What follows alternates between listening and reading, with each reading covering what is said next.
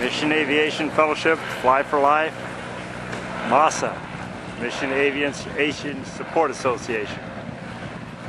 They're at the Sun and Fun Air Show in Lakeland, Florida.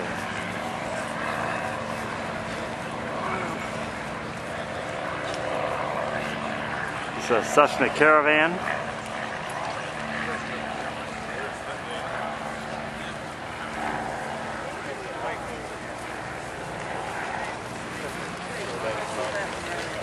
Brought one of their helicopters with them today.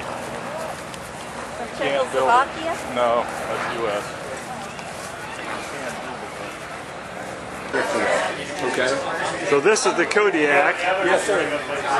And you say you don't have any here today because they're Well, we just got two that are dedicated out at the at headquarters in Nampa, Idaho.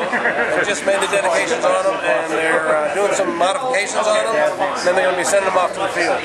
so the other ones are already out in the field and Yes, we've got six that are actually on the field right now. That one's number seven and number eight, and uh, we're hoping to get a total of about 18 over the total of the next uh, four to five years. We're looking for uh, folks that will help donate to, to buy those. Expensive airplanes, but uh, because they use turbine fuel, uh, we've got places where we can't get turbine fuel or I mean uh, avgas. And if we can get it, we're paying up to $25 a gallon. wow. Yeah, It's so expensive. turbine fuel's a lot cheaper and the airplanes are a lot more efficient, aren't they? Yes, they are because they haul more. Um, the Kodiak will haul twice the payload of what my Cessna 206 would haul. So fuel cost is a little bit more expensive because it burns like uh, 45 gallons an hour instead of 18. But when you're paying five times the cost for avgas, it's still cheaper to operate the, the turbine engine. Is the Kodiak a faster airplane? It does fly a little faster. Our 206 typically cruise at about 120 knots. Kodiak cruises anywhere from 150 to 160 knots. Okay. So not only does it have twice the payload, it goes a little faster as well. Uh, runway length about the same? Actually, the Kodiak will take off in less runway than the 206 wheel, About 50 feet less. It's amazing. Wow.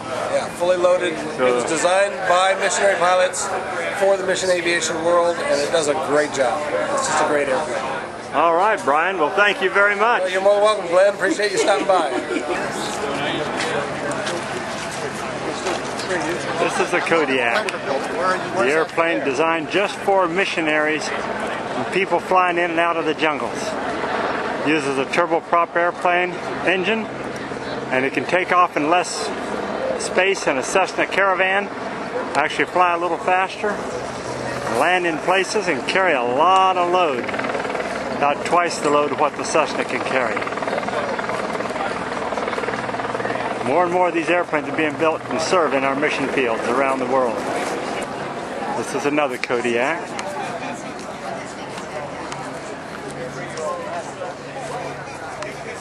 Got a big cargo door for loading passengers. Big cargo bin underneath for cargo. And of course the cockpit.